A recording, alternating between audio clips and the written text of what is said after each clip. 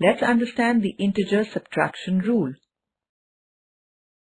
Subtracting a negative number is the same as adding a positive.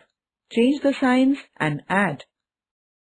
For example, 2 minus minus 7 is the same as 2 plus plus 7. 2 plus 7 is equal to 9. 12 minus minus 8 is the same as 12 plus plus 8. 12 plus 8 is equal to 20. Minus 3 minus minus 11 is the same as minus 3 plus plus 11. Minus 3 plus 11 is equal to 8. How do we know that subtracting a negative number is the same as adding a positive is true? We can use the same method we use to check our answers when we subtract.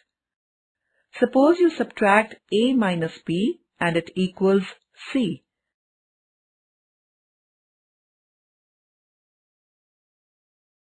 To check if your answer is correct, add b and c.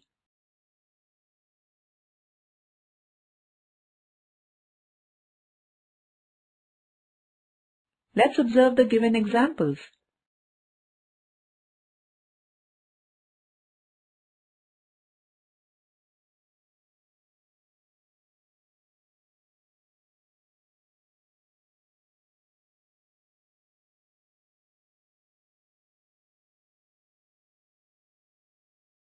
If the method for checking subtraction works, it should also work for subtracting negative numbers.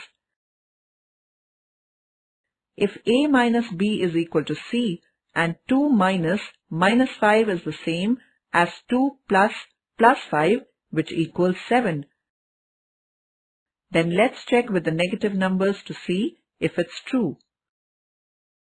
Let's observe the given examples.